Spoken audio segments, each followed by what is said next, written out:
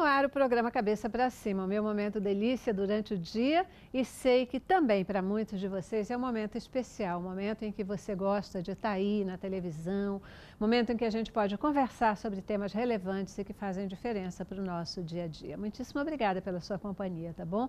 É um prazer enorme poder saber que a gente consegue, pelo que a gente trata aqui no Cabeça, pelas reflexões que a gente é, promove aqui, a gente consegue abençoar a sua vida e fazer diferença. Que coisa boa! Nossa missão é abençoar você. A missão da Rede Boas Novas de televisão é abençoar vidas, é tocar pessoas e falar do amor de Jesus. Esse amor que é, faz diferença e nos ajuda a vencer qualquer dificuldade na vida. Você concorda com isso?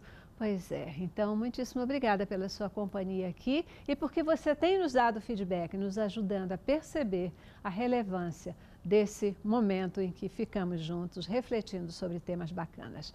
Obrigada também, querido semeador de boas novas, porque você tem estado conosco, tem sido fiel, você tem orado por nós e isso faz toda a diferença. Mas além de orar, você tem também contribuído financeiramente com aquilo que você pode e o Senhor tem usado de maneira poderosa a sua contribuição para fazer diferença e para semear boas novas de Cristo em todo o mundo. Que esse Senhor que conhece o teu coração te abençoe e te guarde e possa retribuir com toda sorte de bênçãos espirituais e materiais. Mais uma vez a todos vocês, graça, paz e que a boa mão do Senhor permaneça sobre a tua vida, sobre a vida da tua família em todos os momentos e que a gente continue a fazer diferença na sua vida. No Cabeça para Cima de hoje, a gente vai falar sobre um tema e falar sobre gente que tem feito muita diferença nos lugares onde essas pessoas estão e estão desenvolvendo trabalhos na verdade, é livrar do uso de drogas, livrar da violência e até mesmo da pobreza são alguns dos objetivos de projetos sociais, projetos culturais que são implementados em algumas das comunidades existentes em nosso país.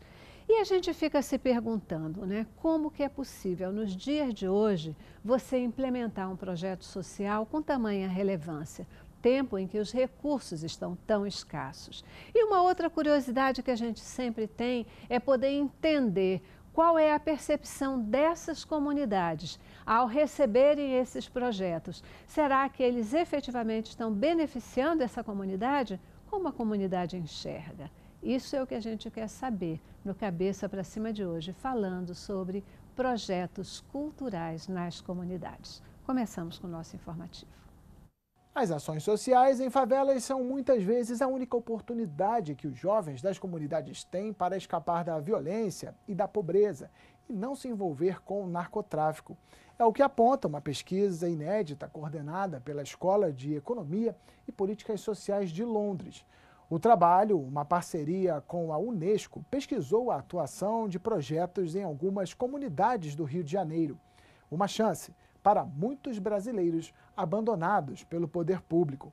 Segundo o IBGE, cerca de 50 milhões de brasileiros, o equivalente a 25% da população, vivem na linha de pobreza e têm renda familiar equivalente a 387 reais, valor adotado pelo Banco Mundial para definir se uma pessoa é pobre. A pesquisa de indicadores sociais revela uma realidade. O Brasil é um país profundamente desigual e a desigualdade gritante se dá em todos os níveis. No que diz respeito à distribuição de renda no Brasil, a síntese dos indicadores sociais de 2017 comprovou mais uma vez que o Brasil continua um país de alta desigualdade de renda, inclusive quando comparado a outras nações da América Latina, uma região onde a desigualdade é bastante acentuada. Ai, ai, gente, que notícias né, que a gente tem aí por esse informativo. A gente imaginar que alguém é, consegue passar um mês, por exemplo, com 300 e poucos reais, sobreviver e às vezes isso é uma renda familiar, né, tendo que dar conta de uma família.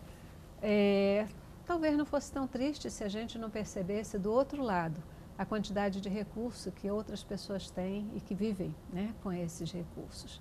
Mas o mais importante de tudo isso é Mesmo essas pessoas que estão aí nessa linha da pobreza, mesmo essas pessoas que vivem e enfrentam tanta desigualdade em nosso país, como que elas conseguem fugir? Como que elas conseguem é, é, é, ir além e não viver nesse estado de violência?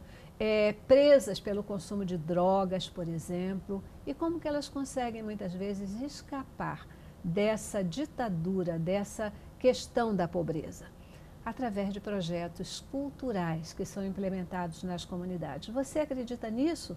Pois olha, no Cabeça para Cima de hoje vocês vão conhecer atividades e trabalhos e pessoas que têm feito diferença nessas comunidades através de projetos sociais absolutamente relevantes. Eu tenho o prazer de receber aqui no estúdio hoje a Ellen Cristina Pereira da Costa. Ellen, ela é produtora cultural e trabalha na companhia de dança Efeito Urbano, que é formada por jovens do Morro da Providência. Né? Morro da Providência é uma comunidade aqui do Rio? Sim, fica no centro da cidade. No centro da cidade. Obrigadíssima pela sua presença aqui Obrigada pelo convite. Isso aí. Tenho uma vontade enorme sempre de conhecer esses projetos e entender né, é, é todo o malabarismo que vocês conseguem fazer para fazer diferença nesses locais, é viu? É verdade. Estou ansiosa para te ouvir. Obrigada Sim. pela tua presença. Eu que agradeço. Tá bom. Também conosco aqui hoje a Mary Del Mondo. Mary é atriz, é produtora e diretora. Ela trabalha com temas sociais e leva o teatro às comunidades. Que delícia! Obrigada pela sua presença. Eu que agradeço o convite. Muito bom estar aqui com vocês hoje. Isso aí.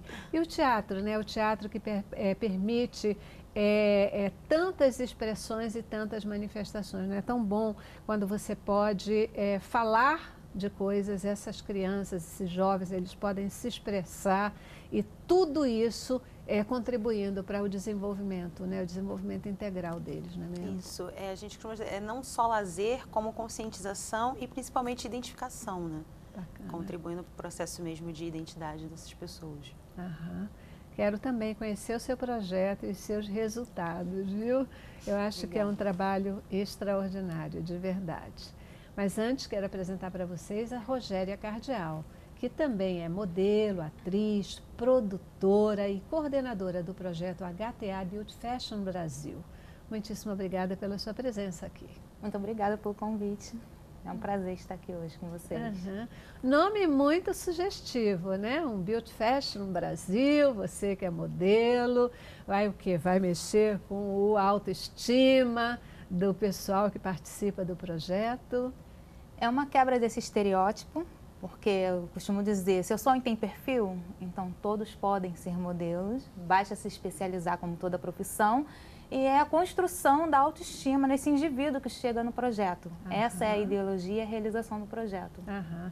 Que ele se enxergue né, e perceba a sua beleza, porque todos, todos, todos, todos têm luz própria e têm beleza, né? Que coisa boa. Então, gente, é, vocês têm trabalhado né, com esses projetos, projetos sociais, projetos culturais. É, como é que é desenvolver projetos desse tipo hoje no nosso país, especialmente no momento em que a gente está vivendo? Quais são as principais barreiras que vocês têm encontrado, as principais facilidades? Como é que é? Claro. Quem quer é começar? É difícil. Vamos ver quem se arrisca a falar primeiro, né? É, hoje o principal, eu acho assim, que o problema é a falta de incentivo né, financeiro. É, as ações, as políticas públicas, elas não chegam nessas comunidades, né? Então, assim, hoje, trabalhando como produtora teatral, eu consigo oferecer um produto de qualidade a todo, todo e qualquer público. Né? E esse trabalho que a gente desenvolve é justamente para levar o teatro é, fora desses espaços convencionais. Por exemplo, uhum. a gente tem projeto agora atual que vai até a casa das pessoas. A gente pode apresentar essa, essa peça em qualquer casa, em um apartamento, enfim, em qualquer outro espaço. Então a ideia é ocupar espaços urbanos e sair um pouco dessa coisa do palco italiano, quebrar essa barreira que muitas vezes as pessoas têm achando que o teatro é uma coisa mais classista, enfim, o teatro ele pode ser sim acessível a todos, né? E hoje, é, como essas ações não chegam nas comunidades, a própria comunidade vem desenvolvendo esse tipo de coisa. Então, assim, uma coisa, é uma ação que vem de dentro para fora.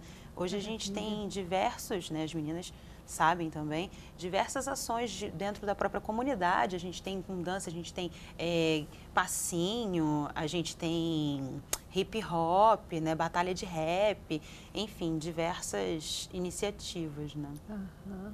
A gente é, hoje, ah, sem dúvida nenhuma, vive uma realidade, já identifica uma realidade, porque houve um tempo em que se dizia assim, é, é, era até essa expressão, né? As coisas do asfalto vão para o morro, né? É, é, é, tudo é como do, do asfalto para lá, para a comunidade, essa questão toda.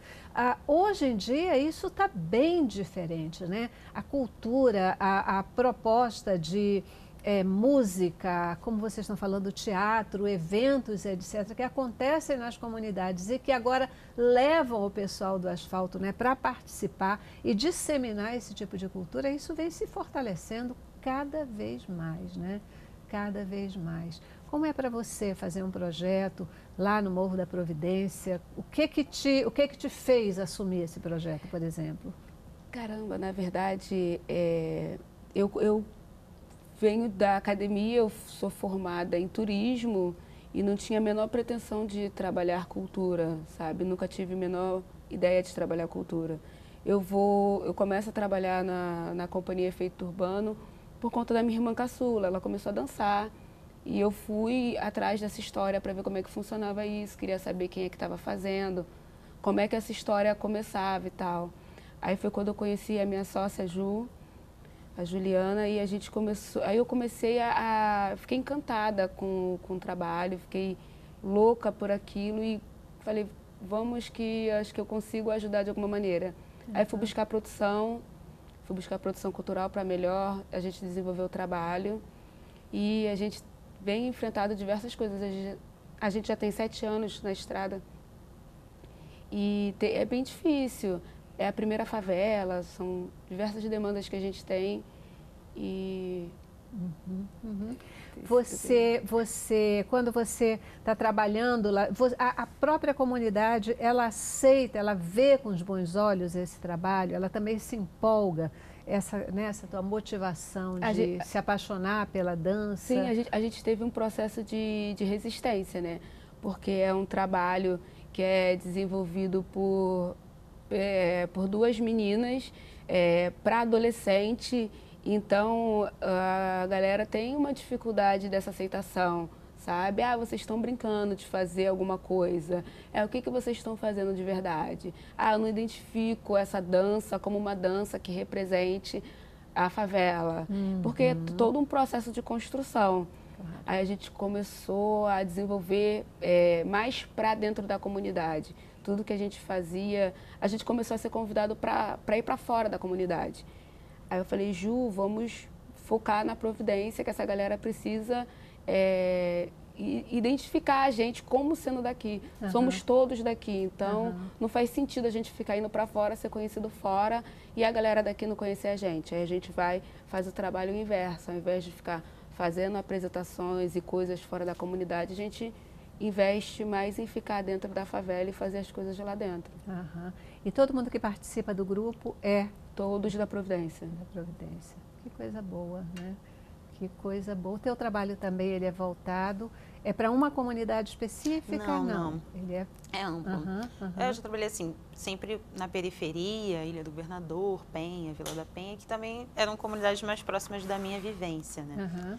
E não só dentro da comunidade, mas também a importância hoje a gente tem de promover uma lista amiga, de quando a gente tem a oportunidade de ter algum incentivo dentro do, da peça teatral, a gente fazer a, associações com ONGs, uhum. levar essas pessoas para o teatro também. Então, assim, uhum. é o uhum. caminho de, lá, de dentro para fora e de fora para dentro, uhum. né? os dois caminhos. Bacana, bacana. E você, Rogéria? É, onde é que o teu trabalho acontece, com, qual é o público que você tem na, na, na, nesse projeto né, da HTA Beauty Fashion? O projeto ele se iniciou em São Paulo em 2012 e quando eu retornei ao Rio de Janeiro, eu senti a necessidade de continuar mantendo o projeto e ele acontece atualmente no Parque de Madureira, mas ele é um projeto itinerante. Ele tira aqueles alunos de lá, como a Mary mesmo acabou de expor, a gente leva esses alunos para participar de teatro, que é o desenvolver o quê? Uma presença VIP, uhum. que é uma pessoa participar de espaços e se fazer, fazer a imagem dela fazer parte daquele espaço. A gente já trabalha a parte comportamental, a inclusão social e o resgate de autoestima dessa jovem ou desse jovem, dessa criança, do responsável que acompanha, de ir a lugares antes para eles que eram inviáveis de ir. Uhum. Não só pelo poder aquisitivo, mas também por, por eles não se sentirem parte desses espaços. Mas eles conseguem chegar já nesse espaço com outro olhar, com a cabeça já erguida, com, se sentindo também, conhecendo seus direitos de fazer parte, de conhecer a cultura e sair daquela vivência de tráfico, de drogas, de prostituição de dentro das suas comunidades e ali né, participando e assistindo vendo, participando até de debates, participando de movimentos e manifestos, como já tiveram a oportunidade de manifestar-se politicamente no dia do fechamento da biblioteca do parque e ali dizer não, eu preciso ter uma biblioteca e participaram com sua performance e sair dali consciente, como eles fazem conscientemente nas redes sociais. Então o projeto ele é em Madureira, mas temos alunos de Piabetá, de Magé, da Grota, de vários lugares devido à acessibilidade, uhum. do trem, do ônibus mesmo, para eles estarem ali. Uhum. Portanto, é, são projetos que eles é, são realizados dentro de comunidades, mas não necessariamente. Mas eles, todos os projetos que vocês estão falando aqui, eles buscam de alguma forma é, é, tocar as pessoas, né? É, pessoas de baixa renda, pessoas com menor uh, poder aquisitivo, pessoas com uh, que têm mais é, é, têm que enfrentar a maior desigualdade social para que elas encontrem seus espaços, para que elas se identifiquem e aí elas consigam, a partir daí, caminhar, né? Caminhar de uma forma é, bacana. Eu já preciso ir para o nosso primeiro intervalo, vou dar minha paradinha aqui e a gente volta. Eu queria uh, conhecer de vocês uh, histórias, histórias que vocês pudessem compartilhar com a gente de resultados bacanas que vocês tiveram é, a partir desses contatos, né? Porque a gente está dizendo qual é o grande objetivo? O objetivo de transformar, transformar pessoas, né? ajudar pessoas a, a enfrentar a violência em que vivem, enfrentar a desigualdade, enfrentar tudo isso. É, tem história boa para contar? Tem resultado para compartilhar com a gente? A gente quer compartilhar isso para comprovar a nossa tese aqui, tá bom? Vamos para o intervalo, a gente volta já. Cabeça pra cima. Cabeça pra cima. Hoje a gente está aqui conversando sobre projetos culturais que são desenvolvidos para pessoas que têm menores oportunidades diante da vida, né? Pessoas que enfrentam de uma forma mais radical a desigualdade social existente sem dúvida alguma ainda no nosso país. E gente, é muito incrível, né? Porque é, quando a gente se envolve com trabalhos desse tipo e de repente você vê um resultado. Você vê uma pessoa, né, uma criança, um jovem, um adolescente, é uma pessoa que de repente você conseguiu fazer com que essa pessoa ela se encontre, que ela vá em frente, que ela se empodere, né, da, da é, é, de si mesma, das suas potencialidades. Isso é gostoso demais, né? Isso não, tem, não tem preço, preço, né? Não tem preço. Quem tem uma história? Quem quer começar com uma história gostosa aqui para mim? O projeto HTA Beauty Fashion Brasil, ele é para mostrar a beleza brasileira porque nós temos um país colonizado que ensina para a criança aquela beleza é só aquilo que tem na televisão. Então ela cresce odiando o seu cabelo, cresce odiando a sua pele, cresce odiando a sua aparência, quem ela é. Então ela cresce com a autoestima muito baixa. Uhum. O projeto é baseado na Lei 10.639 de 2003 da cultura negra. Só que é um projeto que abrange deficiente, seja autista, seja que ele não possua alguma parte do seu corpo, seja branco e seja negro. Por quê? Como é que a gente vai trabalhar uma igualdade se a gente faz exclusão?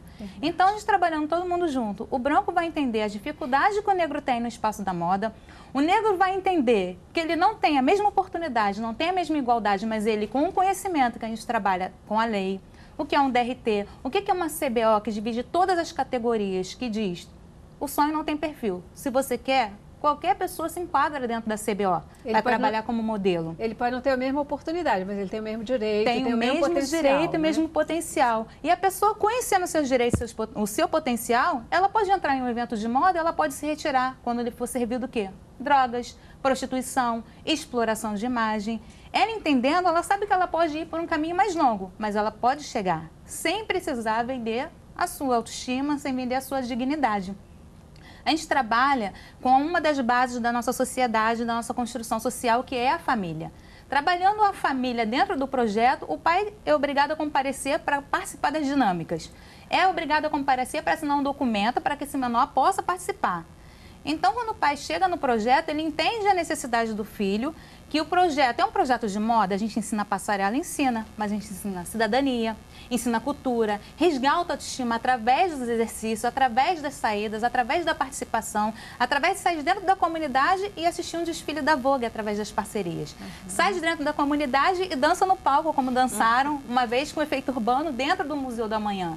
Então se expande muito a mente desse jovem, dessa mãe que participa também e consegue entender que a mudança tem que começar de dentro. Vivemos num país desigual? Vivemos num país muito desigual. Mas, graças a Deus, a dificuldade do projeto é financeira. Todo projeto social e cultural vive num momento de crise, em que o governo não dá oportunidade, mas quer pegar os números desses projetos que estão espalhados e somar como se fosse o número deles. Mas não investir um real, fecha as portas dos equipamentos, a gente tem que fazer isso para poder participar é. e conseguir fazer o projeto se manter mas a gente consegue ter o quê? Os parceiros, que são os padrinhos do projeto. Rodrigo França, Wanda Ferreira de Souza, o nosso atleta Avelino Jesus, o gestor do projeto Magno, que tem uma história de vida, além de ser um ótimo gestor, ele trabalha na militância uhum. desse resgate de autoestima. Então, muitas vezes não temos dinheiro, mas temos essas pessoas, Bianca Lima, que saem das suas casas vão ao projeto e dão o quê? Contribuem com a sua experiência de vida. a nossa embaixatriz do projeto, a Jéssica Mara, ela deu uma palestra sobre o que é o mundo da moda, que tem seu glamour. Mas o que, que tem depois que acaba aquele evento de moda?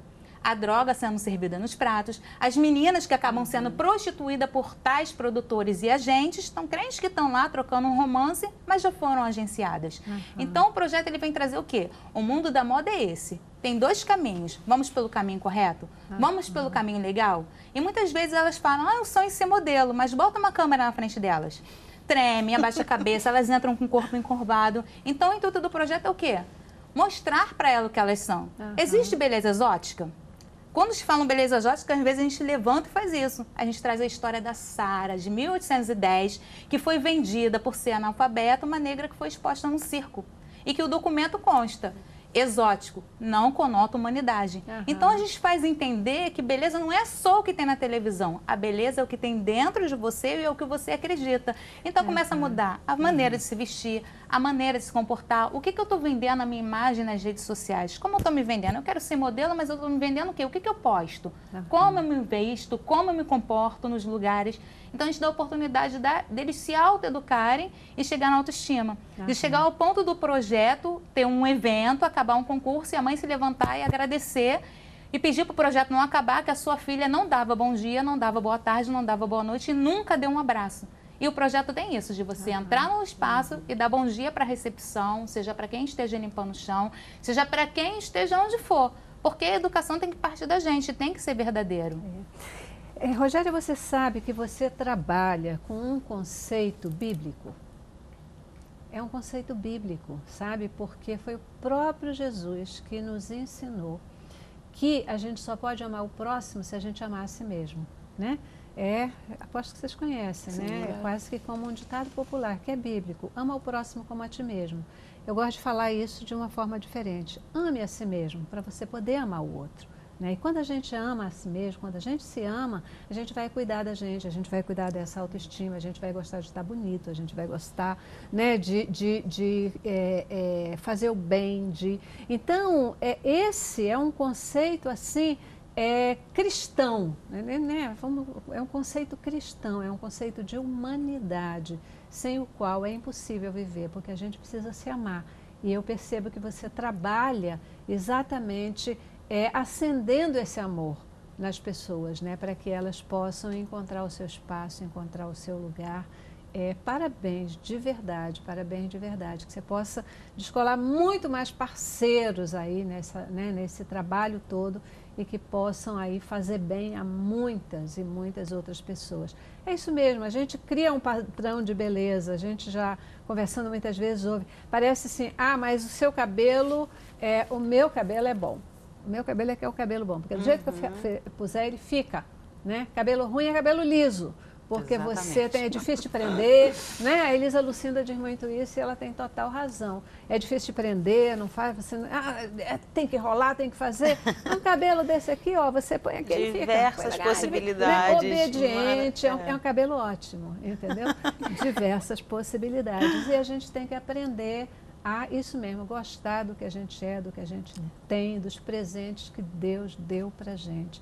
Mais uma vez, parabéns pelo trabalho que é, vocês desenvolvem. É. Essa questão do empoderamento estético, realmente, ele muitas vezes é a porta de entrada para uma conscientização e aí, a partir disso, a pessoa, isso que vocês falaram, né, esse auto-amor, você desenvolve um autocuidado e percebe que você é, sim, uma, um potente, né? Que você uhum. é capaz de realizar coisas. Uhum. E é muito interessante que quando você trabalha com projetos sociais, é, essa questão de você também ter o seu conteúdo, ele conseguir se aproximar da realidade das pessoas. Então, uhum. assim, ah, não adianta nada eu querer levar o meu produto para a comunidade se aquilo ali não traduz Sim. nada para eles. Uhum. Eu já vi diversos colegas falando: ah, mas eu ofereci peça de graça e não teve público. Ah, a questão não é o dinheiro porque eles gastam em cerveja. Eu falei, é, você fez uma pesquisa, você foi até essa comunidade, você é, viu como essas pessoas vivem, como elas falam, o que, que elas consomem,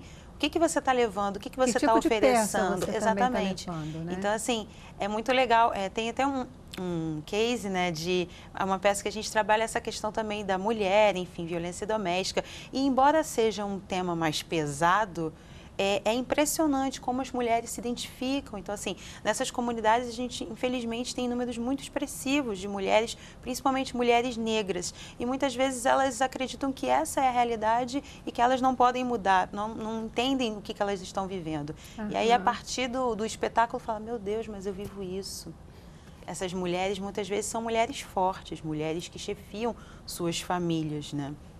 E elas não se veem nesse lugar. Uhum. Falam assim, ah, comigo não.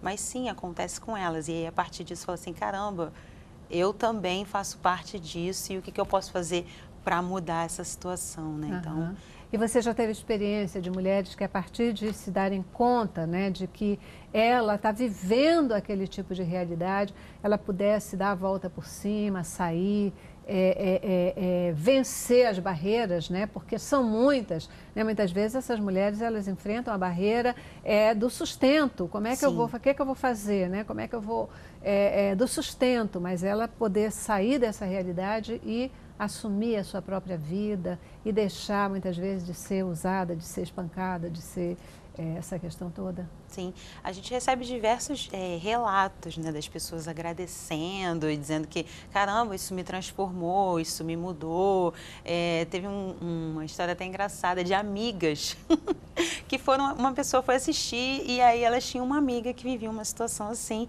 e aí elas se reuniram e falaram, não, a gente precisa levar essa pessoa para assistir. Então foi um, um, grande evento de conscientização dessa, dessa menina e aí elas levaram, ela assistiu e ela não tinha noção nenhuma do que ela vivia.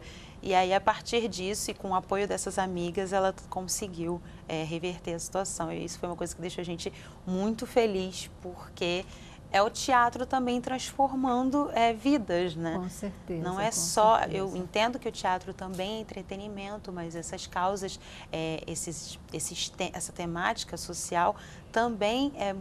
Nossa, é necessária, é, é um ato é. político. A gente está enfim. É, é, entretenimento, mas é educação. É educação. É educação, é cultura, é formação de mentalidade, é reflexão. Isso. Você vê uma peça e quanto aquilo te traz de informação, quanto aquilo te faz pensar, né? quanto aquilo te faz é, refletir sobre a tua vida e de repente você querer novos espaços, querer novas oportunidades. Né? Eu fico pensando no que a Rogéria também estava comentando aqui, é, de mostrar para essas meninas que elas, para elas é, terem o seu espaço, para elas poderem é, é, conquistar uma carreira, elas não precisam se vender, elas não têm que é, trocar o seu corpo, elas não têm que se, é, se drogar por conta disso, porque elas têm um valor.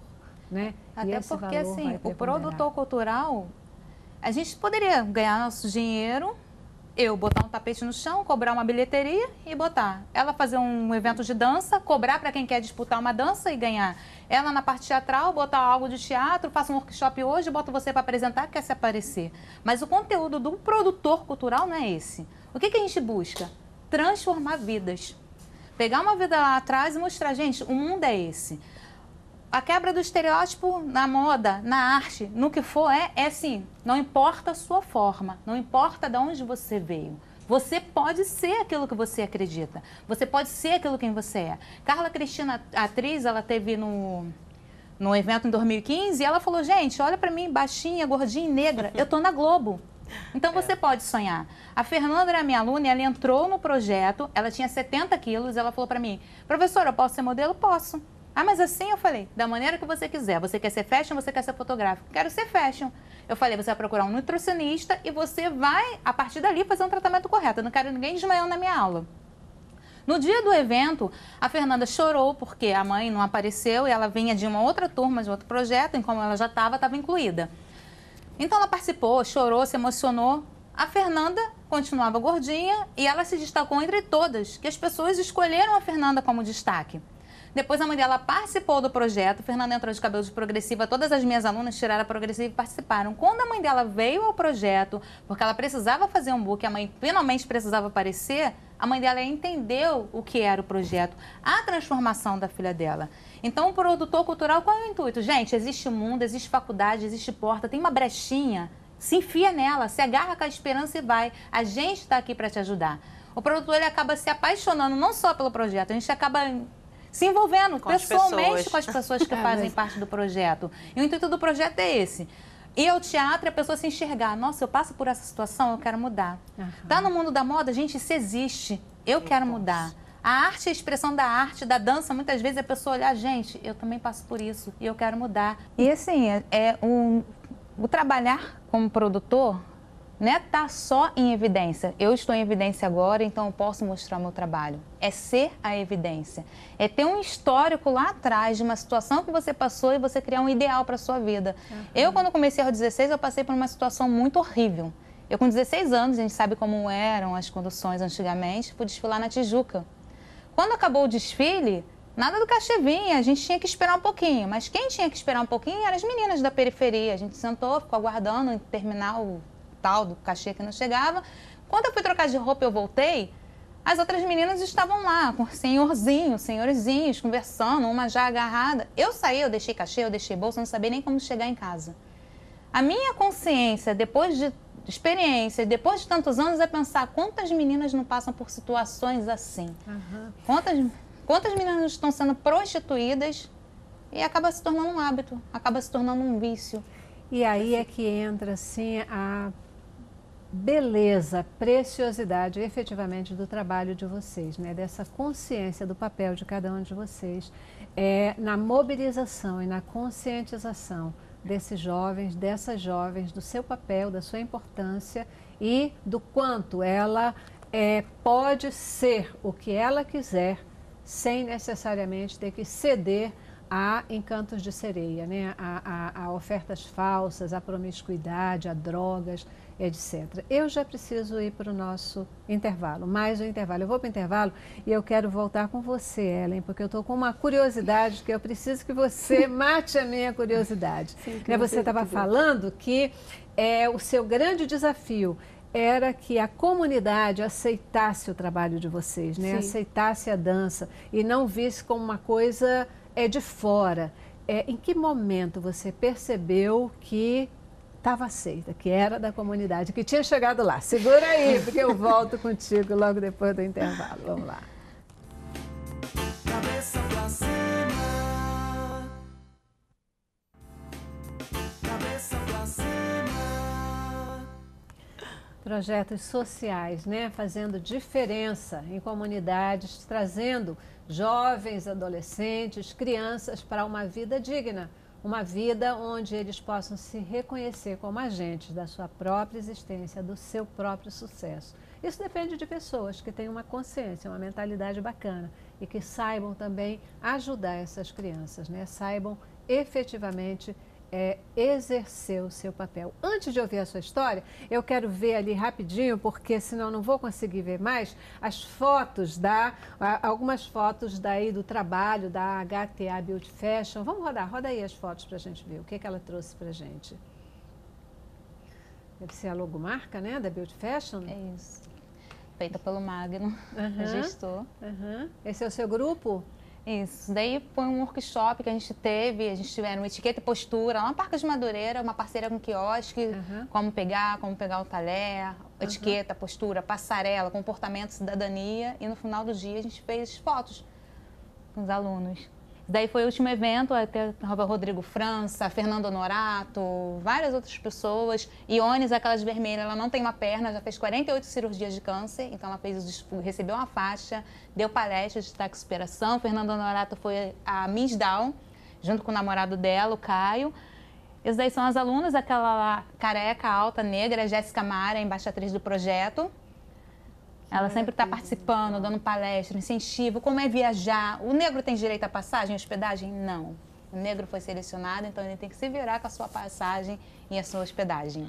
Caramba, caramba. Aquela lá é a Fernanda, a que eu dei o exemplo, que foi nossa destaque de superação em 2015. Começou com cabelinho de progressiva, assumiu suas raízes, teve problema familiar em casa que a mãe queria que ela fizesse de novo. Ai, Essas ganharam em 2000 agora, em 2017.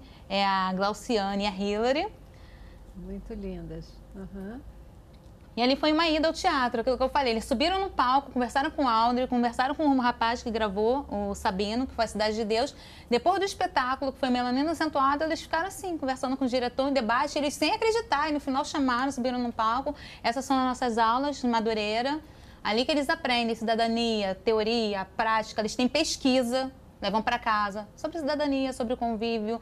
Saímos às ruas também para fazer poesia ao pé da lua com moradores de rua. É, a frase que veio na cabeça. Falou, entregou um lanche e eles se sentem imbuídos no, no prazer de abraçar a pessoa da mão e eles saem assim. Eu passava na rua, eu não estava nem com fome mais, eu jogava o biscoito fora, mas quando eles vinham eu já falava não. Eu não sabia nem o que eles queriam. Eu falei, é um ser humano, invisível como negro, invisível como deficiente, invisível como nós que viemos da periferia. Muito bom. Parabéns pelo teu trabalho, de verdade.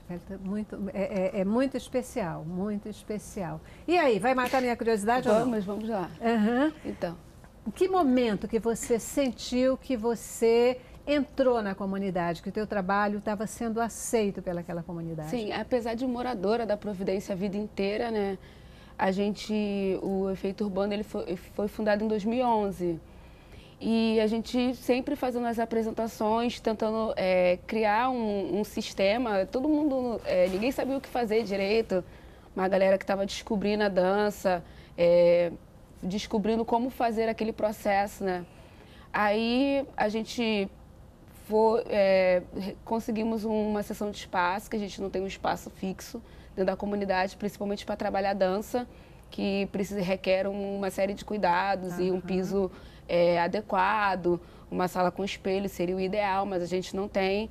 A gente vive e sobrevive através de diversas parcerias que a gente tem na nossa comunidade. A gente começou a ensaiar num, num determinado espaço e as crianças da comunidade começaram a frequentar. A gente ficou observando como é que seria aquilo e começamos a a pensar uma outra estratégia, que era no Instituto Calpongombo em 2014, um tempo depois da nossa fundação. E a gente começou a fazer oficinas uhum. de dança. É, de, é, abrimos mão da sessão de espaço, que, era, que seria para a companhia ensaiar, e começamos a desenvolver o projeto social. Aí fizemos 2014, 2015, atendemos 120 crianças, 120 jovens Assim, em um ano eu fiquei completamente assustada. E, tipo, aquilo era muito louco, porque vinha adolescente de toda a zona portuária, porque a Providência fica no meio, é entre um bulevar olímpico que está lindo, maravilhoso, e um Santo Cristo que está aos pedaços, abandonado. E eu falei, caramba, isso é muito bom, a gente vai fazer isso, vamos fazer, vamos atingir todo mundo. E a gente começou, seguimos com as oficinas de 2015, fizeram uma apresentação maravilhosa no Teatro do Galpão Gamboa, assim, lotado, com diversas, assim, maravilhoso, as mães é, super encantadas. Ali a gente começa a passar na rua e ser mais reconhecida lá, pessoal do efeito urbano. Pronto, e mesmo aí, assim, tá. e mesmo assim tinha aquela coisa do ah, hip hop eu não gosto. Eu gosto de funk, tia. Eu não gosto de dançar hip hop, eu gosto de funk. Aí eu falei, Ju, a gente perdeu a sala para fazer a, o projeto social. A gente precisa arrumar um lugar para a companhia sair, o que, que a gente faz? Ah, não sei. Aí conversamos daqui, conversando ali. A Associação de Moradores cedeu um espaço que é no alto do morro, que é o Nova Aurora, que funciona como uma igreja evangélica aos fins de semana, e eles cederam para gente também. Falei, oba! Aí usamos o espaço durante um, um ano.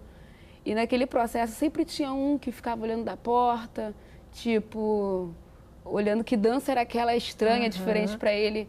Aí a Ju, já sei o que, que a gente vai fazer. Que a Ju é a diretora da companhia. Já sei o que, que a gente vai fazer. Eu falei, o quê?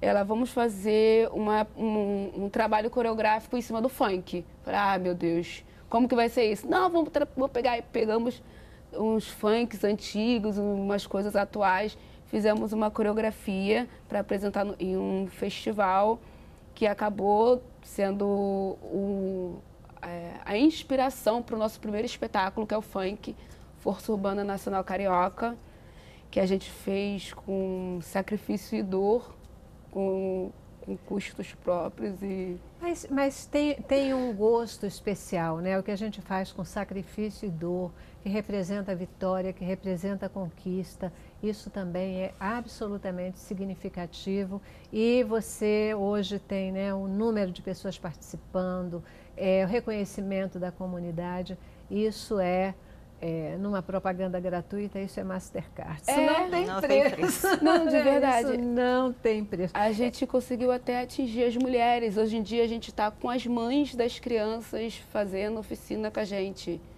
Tipo, a gente dá aula, a gente atende aos adolescentes, as crianças e as, as adultas. Que coisa linda. Gente, olha só, eu tenho assim a maior honra de poder apresentar o trabalho de vocês aqui para o Brasil inteiro, fazer com que as pessoas conheçam aquilo que vocês estão fazendo e mostrar que basta querer, né? Basta querer, basta a gente ter um sim. sonho e saber que a gente é, pode sim fazer diferença, não apenas para a gente, mas para todas as pessoas. Eu já preciso ir para o meu último intervalo. Dessa vez eu não posso atrasar, porque a gente tem coisa boa vindo por aí. E eu vou para o intervalo e a gente volta já já. Tá bom? Vamos lá. Cabeça pra cima.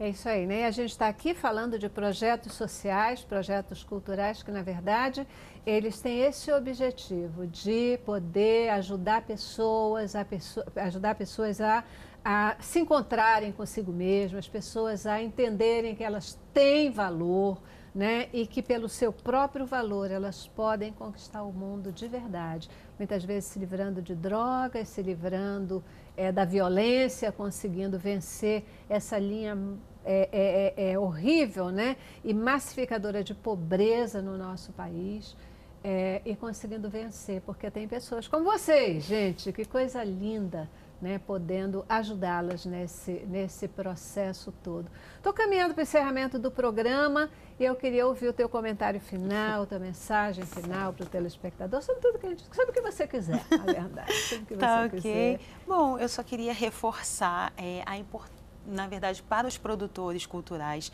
a importância de você diversificar a sua ficha técnica. Então, quantas mulheres negras, quantos homens negros você tem na sua ficha técnica, trans, é, enfim. Diversidade. Diversidade. Né? Diversidade. Diversidade. De você, de você quantos projetos, é, temáticas sociais você aborda. É possível você explorar esses campos também e a outra parte seria que lembrar que a comunidade, que a periferia, ela é um elemento vivo. e que se o sistema não faz por nós, nós fazemos o nosso próprio sistema. Uhum. E que é isso. Uhum. A periferia ela está fazendo, é, mesmo que isso seja visto muitas vezes de forma marginalizada, é, é, preciso resistir. A gente não tem dinheiro, muitas vezes são com os nossos próprios recursos que a gente monta espetáculo, que a gente monta esses produtos mas eles acontecem e uhum. tem público, enfim, e a gente consegue atingir diversas pessoas. É, só lembrar de um caso assim que aconteceu essa semana que eu acho importante falar é, de cinco meninos de Itaipuaçu que foram mortos é, por milicianos. Eles, eles faziam parte de, de eles eram do hip hop rap, trabalhavam com rap, eles tinham, eles tinham um apoio da secretaria do local para fazer projetos sociais de conscientização e lazer para sua própria comunidade. Esses jovens, eles foram mortos e até a gente ainda não, não, não foram uhum. presos, culpados, enfim. É, não tem uma política, uma ação social que dê apoio a essas famílias. Então, uhum. assim, é muito importante esse tipo de, de ação, mas é importante também ter um apoio o apoio, o, o, apoio público, né? o apoio dos nossos políticos. Que faça mudar o olhar né, para essas pessoas Exatamente. É, da comunidade. O perigo maior não está neles, o perigo maior está na, na, exatamente nessa, nessa questão da desigualdade social. Isso. Na desigualdade social. Rogéria, sua despedida, rapidinho. A minha despedida é agradecer aos meus parceiros, ao meu gestor Magno, todos os padrinhos e padrinhas e parceiros do projeto e dizer quem está em casa que nós não somos exemplo, nós somos referências, porque cada um tem a sua história de vida e a sua dificuldade. E assim como Marielle, foi, foi, a voz da comunidade, foi voz de luta como mulher negra. E não estou só pelo negro, como tem vários dados estatísticos das famílias dos policiais e todas as outras pessoas que ela ajudou. Essa é o intuito da nossa vida, a arte que cura, a arte que pega aquele morador de comunidade, de periferia e mostra que existe sim um caminho e você pode realizar os seus sonhos. Maravilha. A oportunidade não existe? É desigual?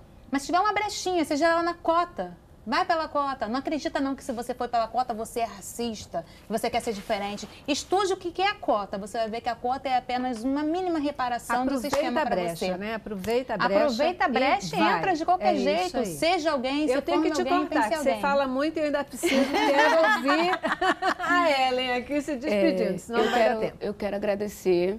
Gostaria de falar que é, representando aqui o efeito urbano nesse momento, que é a primeira companhia de dança do Morro da Providência. Para a gente é uma honra. E fazer projeto social dentro da favela é conviver com a política do medo. É, eu, desde que aconteceu esses, todos esses episódios, a gente vem tendo medo. Eu, como mulher negra, tenho medo de andar na rua, tenho medo de me colocar em certos lugares, porque eu não sei o que pode acontecer comigo. Hoje eu estou aqui representando a minha favela, representando uma galera que não tem voz para estar é, nesses lugares que a gente está tendo a oportunidade de estar e poder falar. E hoje eu estou aqui e amanhã só Deus sabe. E amanhã obrigada. você vai estar aqui também, você vai estar em outros lugares pela graça de Jesus, entendeu? Porque é, o nosso Estado ele vai vencer essa violência e esse temor, esse medo que, na verdade, assola todos nós. Gente, muitíssimo obrigada pela presença e participação de vocês aqui com a gente hoje, né? Foi demais. E olha, hoje a gente vai terminar o programa, gente, em vez de com boa música, a gente vai terminar com boa dança, porque a Companhia de Dança Efeito Urbano vai estar dançando para a gente hoje aqui, sob a direção da professora eh, Juliana, aí comandando a sua tropa, não é mesmo? Obrigada, Juliana, por estar trazendo a sua galera aqui para a gente, viu? Obrigada, eu que agradeço. Primeiramente, Marielle presente. isso aí, isso aí. É uma representação nesse momento que mexe com todos nós, né? Com certeza. Então, perfeito. Mostre o seu trabalho para a gente, delicie a gente com o seu trabalho. Muitíssimo obrigada. Tá bom? Obrigada. Isso aí, isso aí.